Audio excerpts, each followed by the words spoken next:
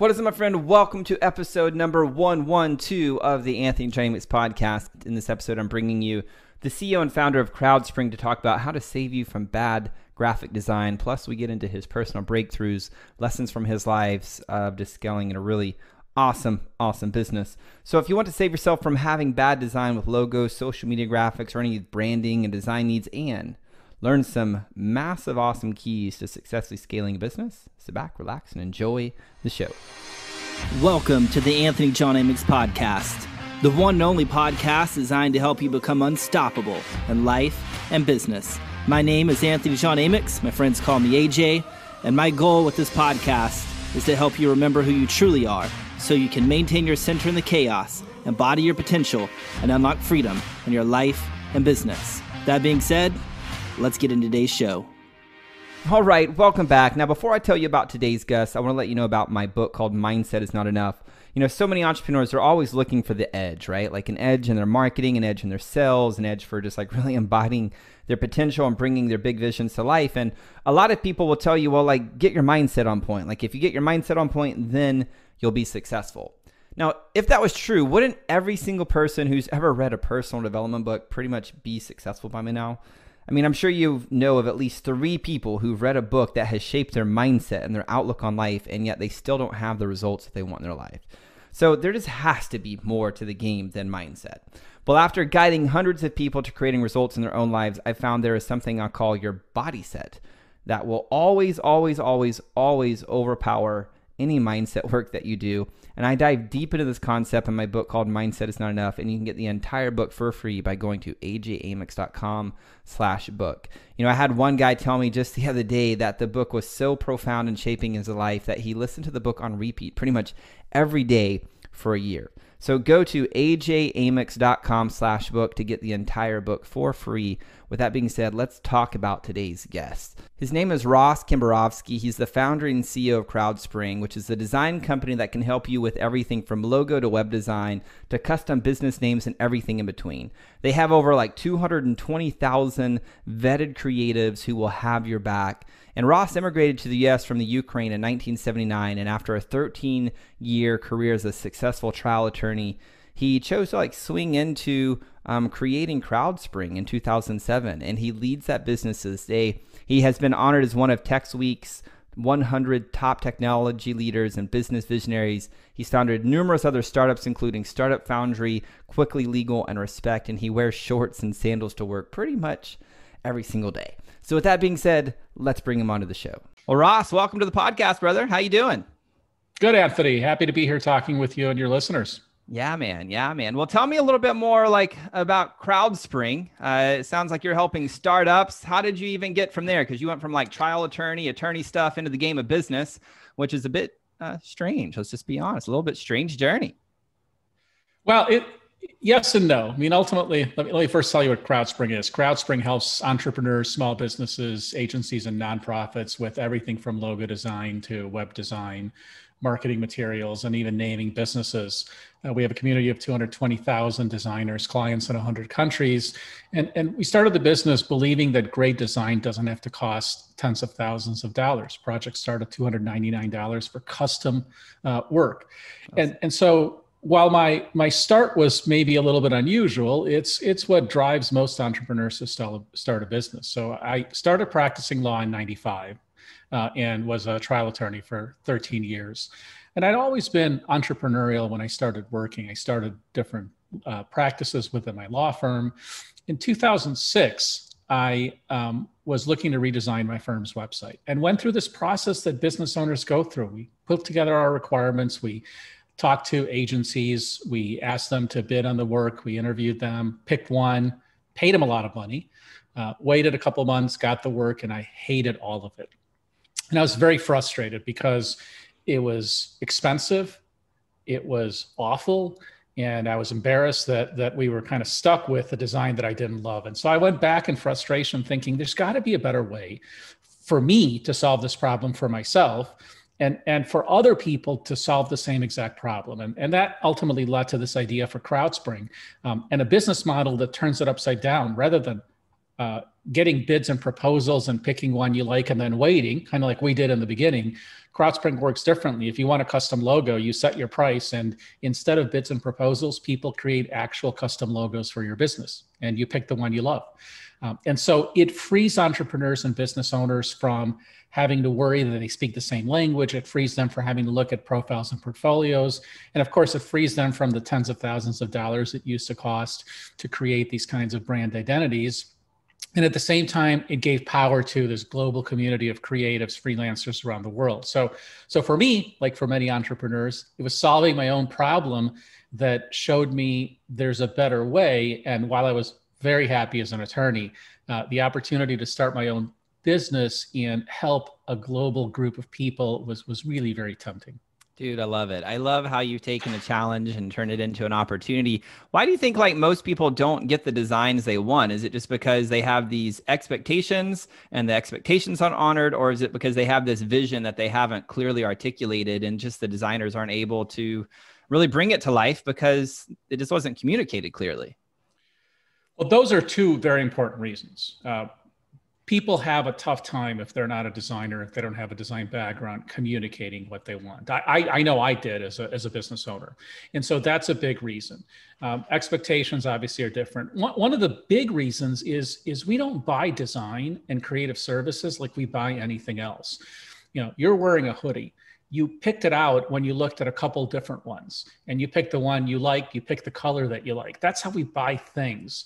Uh, if you're shopping for a television set we do the same thing. But when we buy design services historically this is for hundreds and thousands of years you're generally looking at somebody's portfolio. You're saying all right i'll pay you this much. And then you wait and they give you one or two designs. And the problem is that people like choice and so in a typical CrowdSpring project, you're going to pick from 50 to 100 custom logos. That's very different than when you hire a single designer and you get one or two designs.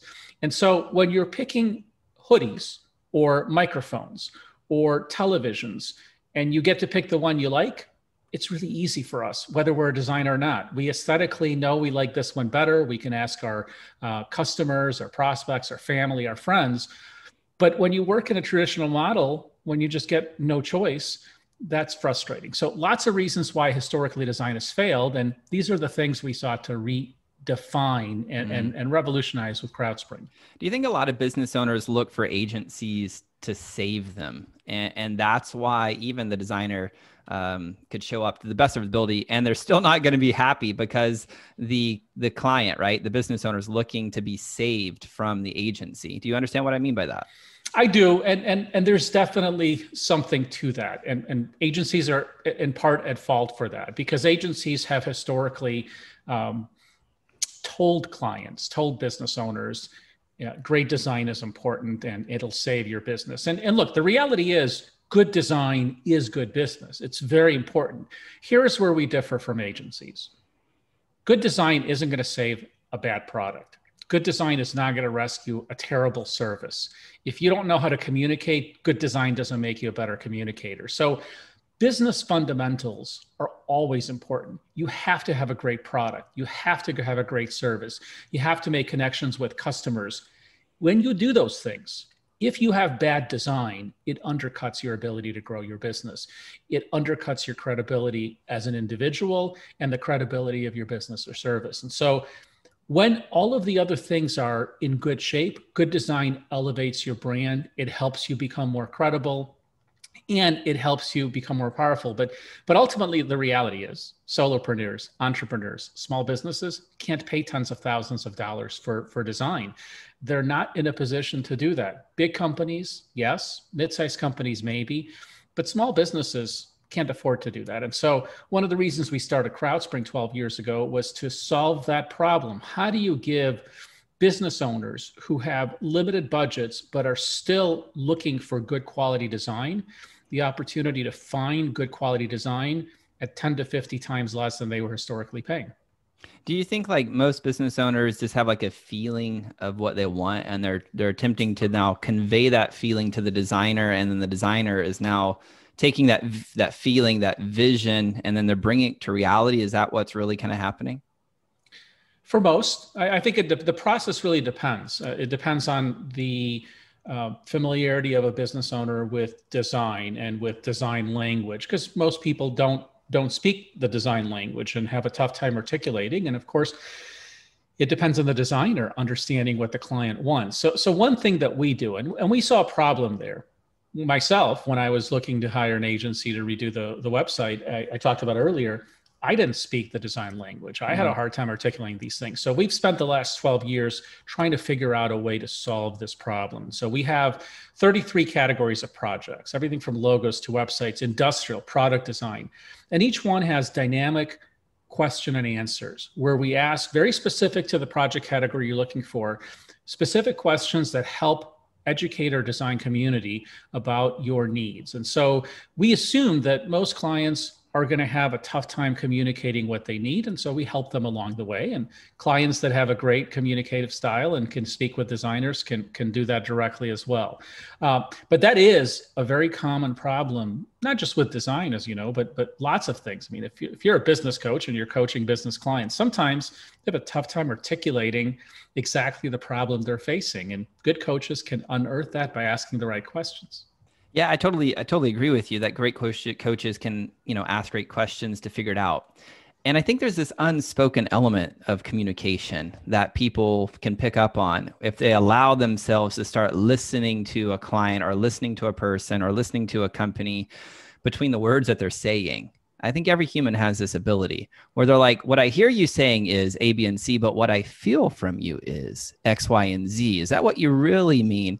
And giving ourselves permission to start listening between the words. Do you feel like that would help more designers and business owners communicate more efficiently? Absolutely. And this is, you know, so I'm a former trial attorney. And so so listening for me is a core skill. It's a lifelong skill.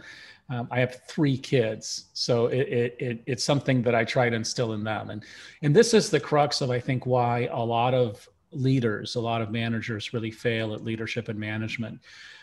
Generally and culturally, in the U.S. and in most countries in the world, we listen to respond. Yeah. So we listen just so that we can get our point in, and most of us are sitting at the edge of our seat saying. I wish he'd stop or she would stop talking so I could tell him really what what what I want to say we don't listen to understand. And as you said, really important listen to understand because those are different skill sets.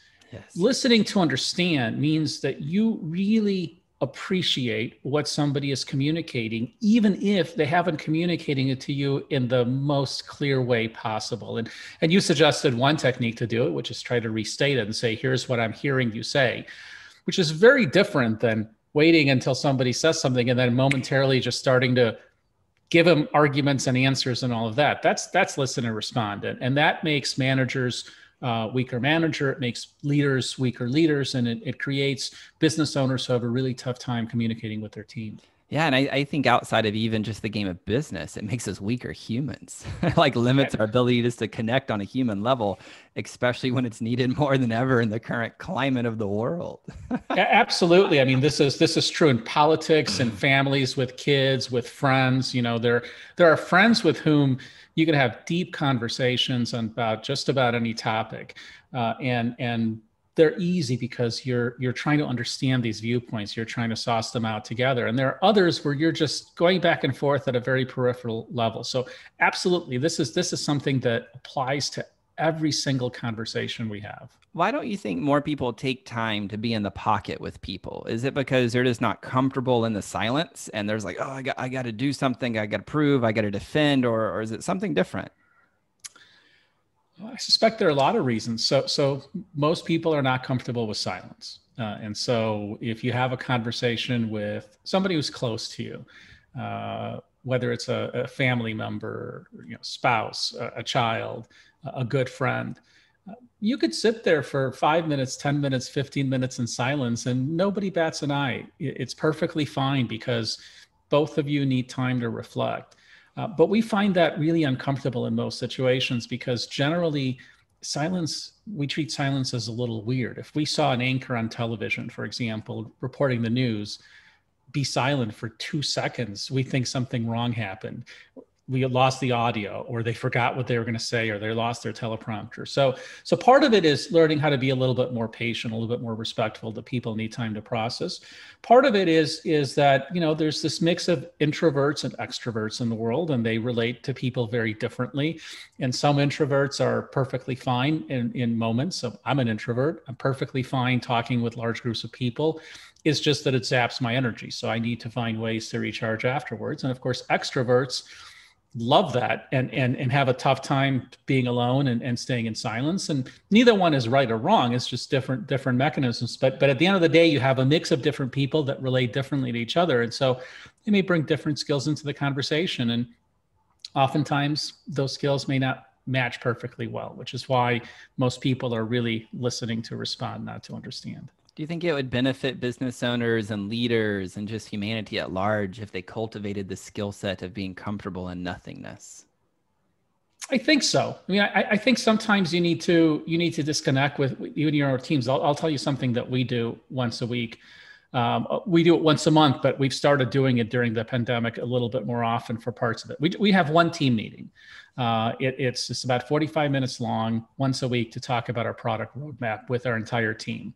Otherwise, most of our conversations are asynchronous. And that meeting is about the product roadmap. But one thing we started doing years ago is we replaced one of these weekly meetings with something called Anything Goes. Talk about anything except work. And so the idea was we wanted to connect as, as humans more so than as teammates. And we wanted to let the conversation flow about lots of topics that we would never be able to randomly talk about. And we started doing a little bit uh, weekly now. So 10, 15 minutes of every week, we, we start talking about random things.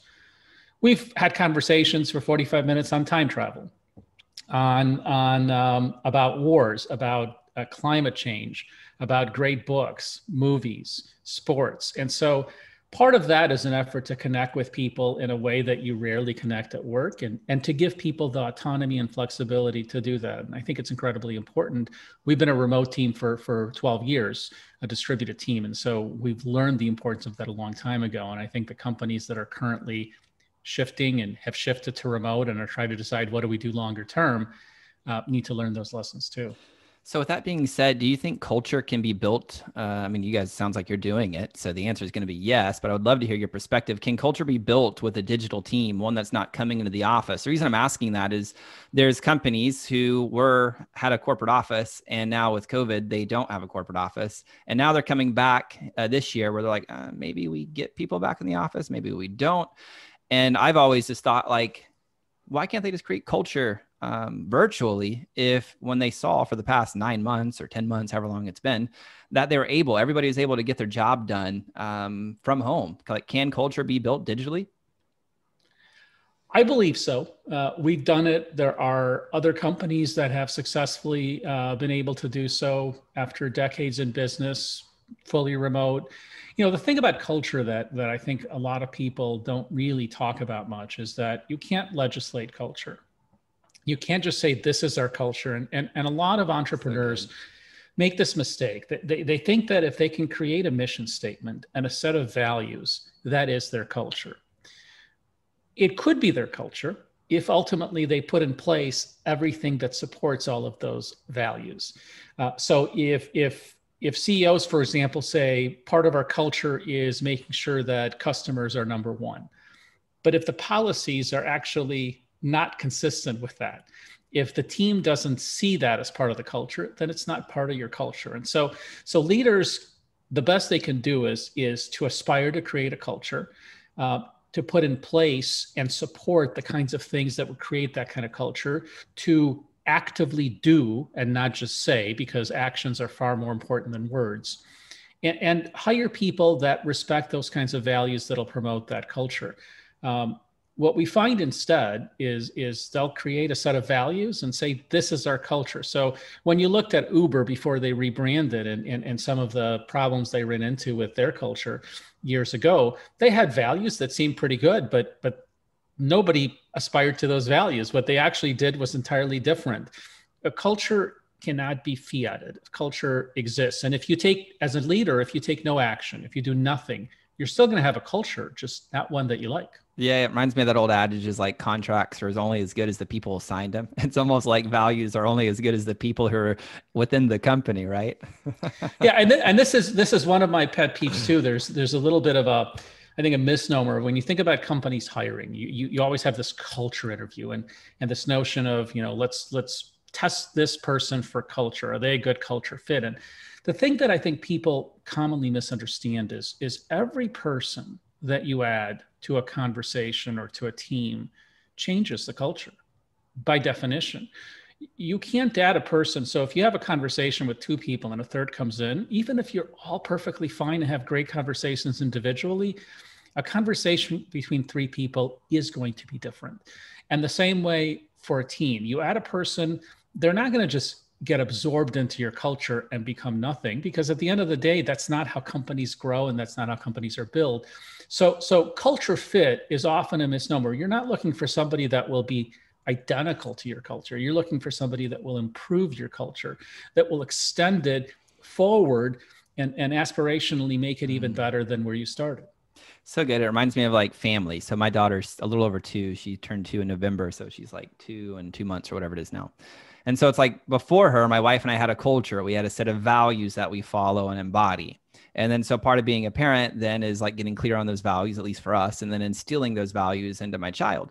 However, she's a certain individual soul with different values that she came to experience on this planet. And so now there's three of us. And so while we're instilling and leading her in those values, she's also bringing her own value hierarchy into the mix that we get to ebb and flow. And it's changed the dynamic of the family good. But if we're like, no, these are the values, this is what it must be, well, there'll be a little bit more chaos than us trying to like co-create. Still hold boundaries, giving her boundaries. Don't get me wrong, but we're still open to like what's going to nourish her as well. Does that make sense? It's almost like culture and bringing people on the team is is similar, right? Yeah, I mean, listen. At the end of the day, I I, I fully agree with with the way you approach your daughter. I have three kids. Um, they're a little older, so so 22, 19, and, and 15. But but we took a very similar approach. We we recognize as parents we have this limited time frame to to help our kids to watch our kids to educate our kids to teach them some of the things we know. But we know that we didn't learn everything possible from our parents. We know that we learned some things values morals the, the, that code came from our parents our friends and, and and people around us. And so we took the same approach with our kids which is to try to teach them um, that it's important to have a good moral compass, that it's important to have a set of values that you believe in, and that you don't have to have in advance have decided every single thing you're ever going to have to decide, but you should have a good moral compass. When you're faced with a decision that you've never faced before, as long as you have a good moral compass, you will decide the right way 99% of the time. And so we recognize we couldn't teach our kids everything as parents. And so we tried to teach them and, and also we're open to their own ideas uh, so that when they're older, and they're making decisions without us, which inevitably happens, uh, they could make decisions that are good. And yes, they'll make mistakes, just like every one of us has made mistakes throughout our lives. But hopefully, those mistakes are minimal, and then recognize them and, and fix them. Mm. What's been one of your biggest like lessons that you've learned in this game of business? Well, there have been many. I mean, we've been in business for, for 12 years. So, so one of the important ones, uh, when, I, when I was looking to start my own business, um, I was coming out uh, of a career as a lawyer, and I was very successful as a lawyer. I worked hard. Uh, 13 years uh, as a lawyer, 12 of those years, I was the highest biller in my firm by far. The one year I wasn't, the person who beat me, and this wasn't a competition, it just he happened to, to have outbilled me that year, um, was in the hospital for three years because of a detached retina from reading so much material. So I worked hard as a lawyer. I was perfectly okay with that. Um, I thought becoming a business owner would be equivalent or maybe a little bit more of a lifestyle uh, business in that sense. Uh, and I was wrong about that. I mean, ultimately, being a business owner is is taxing in lots of different ways. You you don't ever stop thinking about your business. There's just no way to turn the brain off. At least there's not for me. Uh, maybe some people could successfully do that. Um, and it it's it's like a roller coaster. There there are highs, there are lows. But but one of the significant things. I mean, you have you have a young uh, young daughter. But one of the significant things was when I was ready to start. I talked to a few friends who had run businesses before, and I said, what what's the biggest gotcha. What's the biggest thing I need to be thinking about? And, you know, most of them said kids, family, h- how to find a balance, that it's not easy to find a balance and that it's really, really, um, important to do that at the earliest time possible. And at the time I started CrowdSpring, I had a, um, a five year old uh, and um, uh, a seven year old and a one year old. So I had, I had, three little kids. Um, and I and I listened to that advice, and I, I don't think I immediately appreciated it, but but I remember in the first um, in the first few weeks leading up to launch of the business, so we had been working on it for about eight or nine months. Uh, my my daughter, my my seven year old, emailed me and said, "Hey, uh, are you um, are you coming home from Europe?"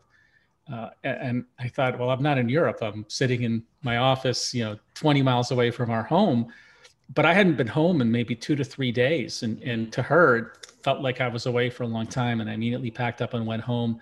And that's when I realized I really need to invest much more time in, in you know, I had to work as hard on my family life and, and my, my emotional and physical well-being as I did on my business. Because at the end of the day, as we all know, when you're physically hurt, and you can't do the kinds of things you wanted to do, it's painful, it's limiting.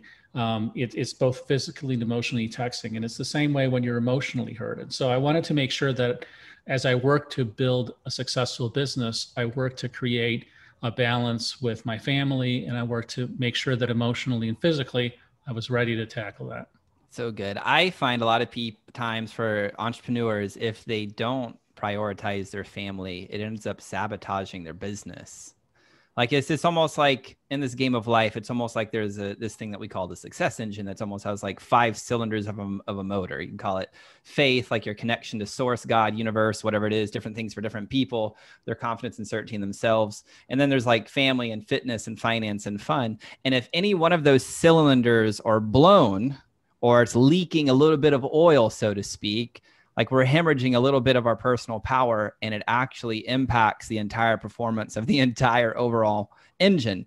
And I think a lot of times leaders think, well, when I make X amount of money or when my business gets to an X amount of point, then I can. But what happens is they have this motor with the blown cylinder.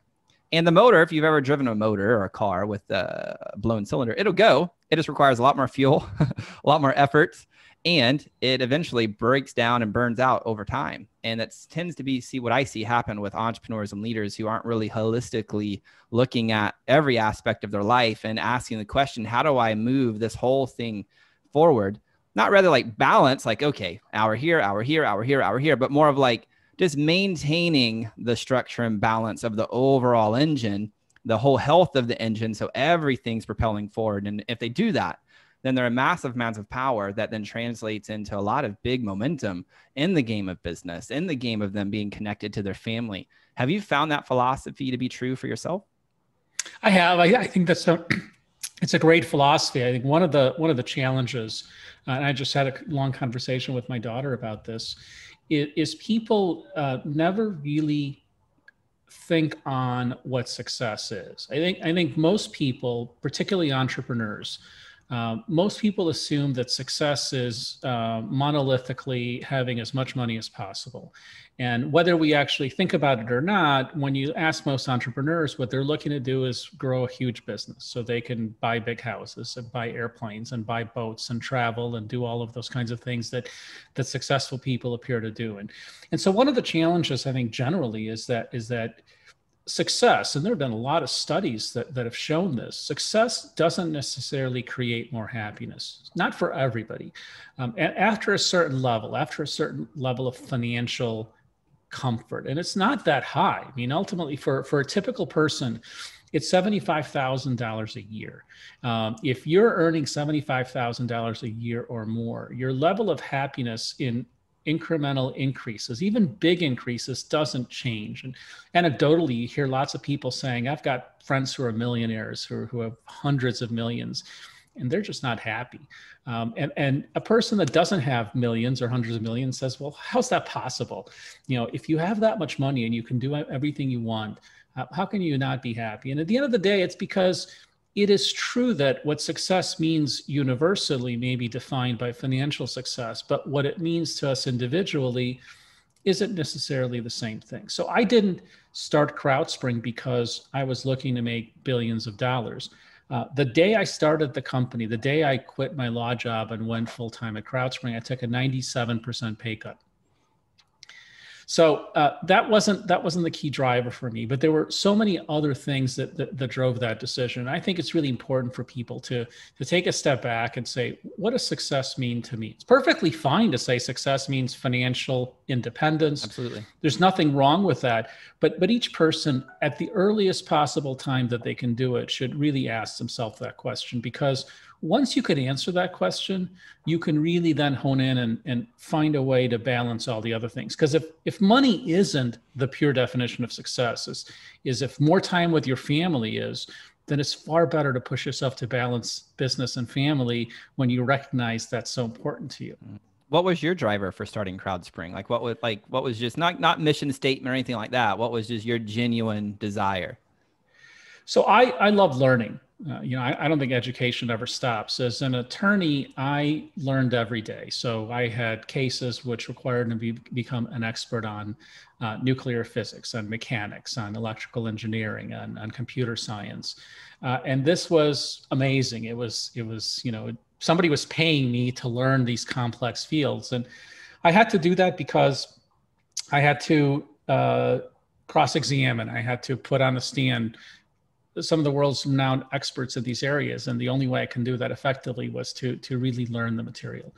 And so but the problem is that those opportunities were somewhat limited. I didn't get to do that necessarily every day. There was a lot of baggage associated with the practice of law um, hearings and and a lot of a lot of busy work. And and so i loved the days in court. I loved talking with experts. I didn't love some of the other stuff I realized that being an entrepreneur, starting my own business, gave me the opportunity to do the same thing, but every day and so so i didn't know a lot about running a business starting a business and i had to learn all of that. I had to learn about substantive you know graphic design and naming businesses and then about writing business plans and, and starting businesses and registrations and marketing and nurture campaigns and everything associated with creating a successful business.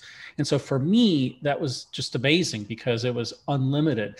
Uh, and and today if i want to do something new um, it, it's it's like a you know a, a, a smorgasbord of food almost uh, i get to learn it. And so so that was one of the key drivers is i really wanted the opportunity to learn. I also thought that um, at the end of the day i wanted the flexibility to be able to control my destiny rather than work for somebody else. I, I wasn't so much focused on can i make significantly more money or not because lawyers are well compensated. I was very happy uh, and and my family wasn't wasn't uh, uh, wasn't in need. I, I, was paid very well, but but I, I also didn't control my own destiny entirely. I had to work for clients. I had I was a partner in a firm, but but ultimately working with with with other partners. Um, and I thought this would give me a chance to to make my own decisions, to find a better balance that I have more control over than working as an employee for somebody else. So was it as a growth? Like you just wanted to experience more growth on a day to day basis? Yeah i mean that was a big part of it. Intellectually i wanted to grow. Right. Uh, individually i wanted to grow. Um, i wanted to to have just a bit more control over what day to day was like and, and over the long term. And it was interesting. I remember there's this this uh, this story this parable that i'd read many many many years ago. This is right around the time i wanted to become an attorney. Um, and i'll probably get it wrong but as a as a fisherman in in south america somewhere where you know, he's got got a boat and, and goes to so, so wakes up early, goes to fish, comes back to eat breakfast with his family, and uh, and then in the afternoon goes out for a few more hours and is very happy. And then a management consulting firm comes in and says, "You're doing it all wrong. Uh, what you need to do is you need to buy 20 boats. You need to spend the next 20 years working as hard as you possibly can, uh, build a huge business so that you can retire and have breakfast with your family and spend time with them, and you know in the afternoon go out for a couple of days of fishing and." To which his answer is, "But I'm already doing that." Yeah, exactly. And so, uh, and so that's the thing. I, I, I looked at inwardly at the kinds of things that would make me happy, and, and, and the balance that I think would make my family happy, and and I made a choice that that that has worked fine for us. So good, man. I, I see this coaching a lot of people that they're addicted to this thing called the success equation, which is I'll be worthy or I'll be accepted or I'll be safe, whatever their equation is when I have X, Y, or Z or when I become A, B, or C and then they get the X, Y, or Z, or they become the A, B, and C. And since they're still not enough or safe or worthy or whatever the thing, the feeling, the experience that they're trying to create, they just kick that X, Y, and Z or A, B, C down the road. And this is never ending journey. And it's something that we've been conditioned to believe uh, by our educational system and just a, a lot of our upbringing, um, mine included. And it's almost like when we can get to the to the place where like you're successful just because you're successful in this moment or you're worthy or you're accepted or you're safe or you're secure. And then you go on the journey to go create your desires. For you it was like i want to nurture growth every day.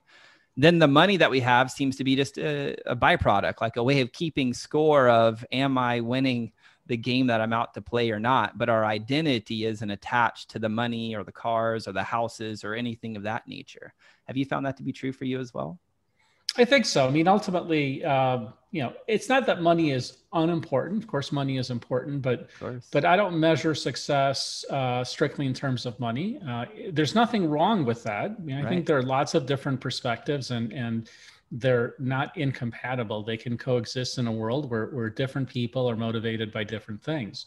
Um, you know, success for me has been about helping business owners in 100 countries reduce the amount of money they pay for design. Success for me has been about having 220,000 freelancers around the world who are making millions of dollars on CrowdSpring, uh, working in a field that maybe their primary field of knowledge it may be they're a taxi driver and moonlight as a designer. The beauty in our model is it doesn't matter whether they went to school in design, whether they uh, worked in a professional design agency, because you're not hiring them based on a whim. They're sharing their actual designs with you. And so when you pick your favorite design, you're picking what you already see.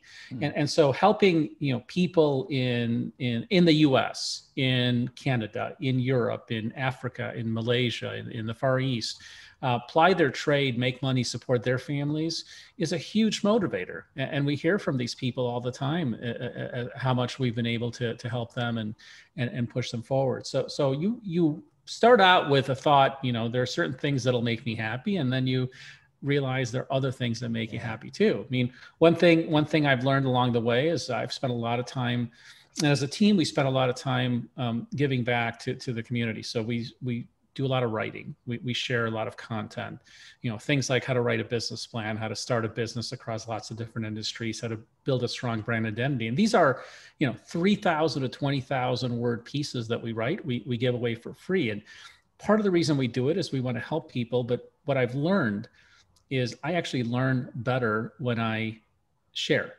Because mm. it exposes me to public critique it exposes me to public opinion and it exposes it forces me to articulate what i know in written form. And if i'm having a tough time articulating something it means i don't know it as well as i should know it. And so, so i go good. back and relearn it. So good. What's been your biggest personal breakthrough on in your life so far? So I, I think ultimately i would measure it as as having found a pretty good balance that makes me happy. Uh, having found a pretty good balance in in physical health. So you know, I, I ignored it for the first two to three years of being an entrepreneur, probably a little bit more, probably the first five years of being an entrepreneur. I, like like most entrepreneurs, I said I just don't have time for this, and so you know, family, business, something's got to give. So it was physical health, and and then I saw uh, friends around me, other entrepreneurs who were who were getting into trouble because their bodies were were falling apart and they were becoming sick. And and I said you know there's got to be a better way to to create balance. And so I committed to and as I said earlier I committed to really focusing as hard if not harder on all of the other pieces not just the business. Um, so so you know that's the year I, I, said I'm gonna I'm gonna start riding a bike, and, and so today I ride between 150 and 200 miles a week, awesome. um, and and that was you know big breakthrough. Um, balance we talked about earlier, and I didn't appreciate in the very beginning that that I couldn't just do what I used to do. Um, I had to work really hard to look for that balance, to find it, to make sure that I listen carefully to my kids, my wife, and and create a situation that that that didn't allow them to suffer simply because I was trying to build a business. And I think fundamentally women do this much better than men. Um, and, and so, so it, it was really hard for me, but, I, but I found that. And then ultimately finding success in my business, you know, the, the one thing that, that we do poorly as humans uh, generally is we have a really tough time, tough time uh, measuring and celebrating incremental success, so small successes. Uh, we tend to celebrate big things, birthdays, New Year's Eve, um, you know, 10 year anniversaries, uh, a huge sale. We don't celebrate little things. And, and one thing that for me was really instrumental was giving myself the ability to celebrate small successes because mm. there are far more of them. You can have small successes every day to celebrate them with your team, to celebrate with your family. And that creates an emotional reaction daily that you don't get unless you recognize small successes are important. Yeah, you get to train your brain uh, and your reticular activating system to look for the wins. It's like every entrepreneur is uh, running up a mountain of their chosen top of success, whatever it is, different things for different people.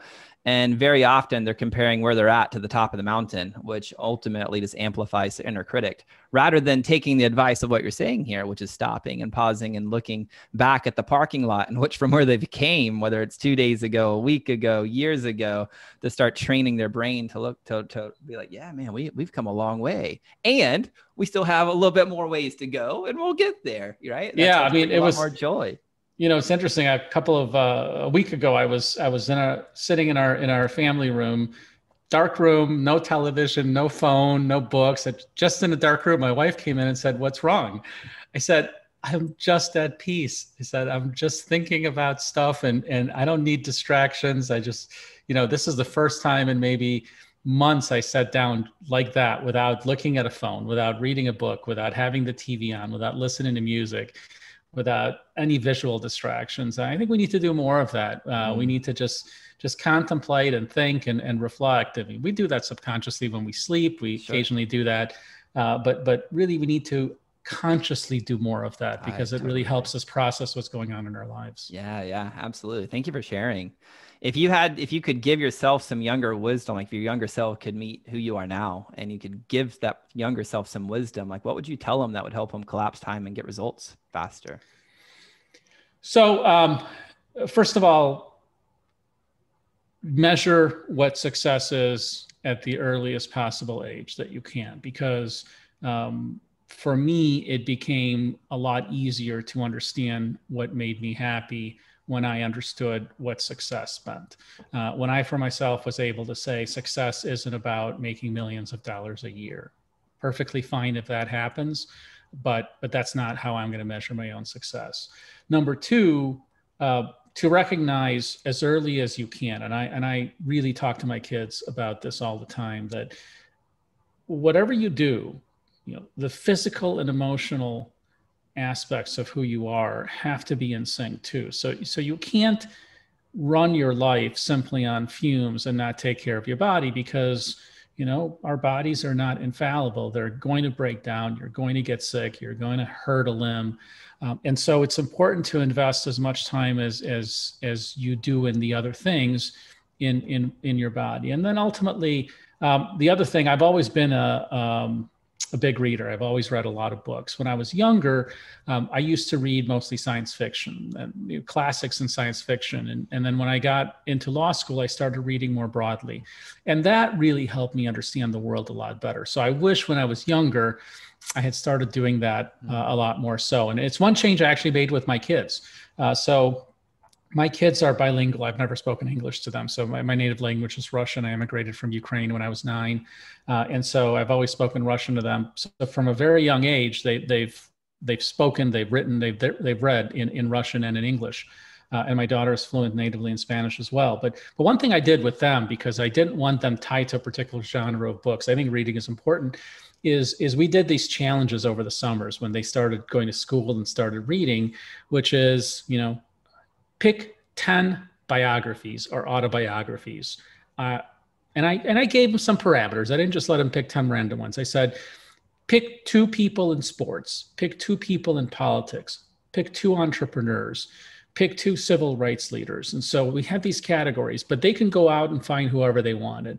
Because I wanted them to read the things that I would have wanted to read when I when I was younger, uh, to understand people better, to understand that you know that there are lots of different kinds of people, that that there were athletes that, who are amazing human beings, uh, that there were politicians who really sought, sought hard to, to improve society, uh, that there were civil rights leaders who, who, you know, you knew about them at the periphery, but, but who were fundamentally instrumental at changing the, the, the course of history.